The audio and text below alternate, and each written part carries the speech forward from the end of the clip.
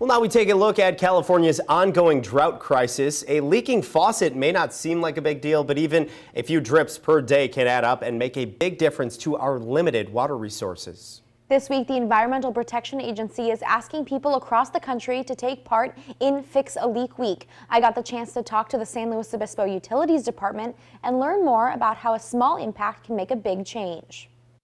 Household leaks waste nearly 1 trillion gallons of water nationwide each year. That is equivalent to the water use of 11 million homes.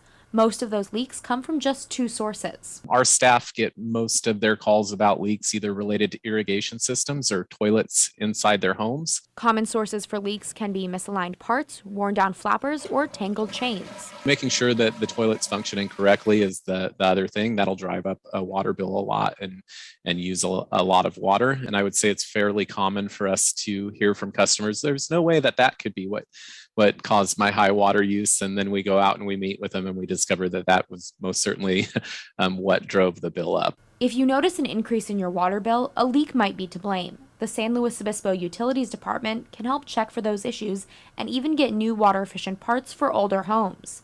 They are also working with the California Water Efficiency Partnership to offer rebates on smart irrigation controllers. On a small scale, when we're talking about one home, a leak may be uh, a gallon a day or or less. But when we start talking about 45,000 people in a community, um, or if we look larger scale across the county, you know, a couple hundred thousand people, the cumulative cumulative effect of that is is pretty large.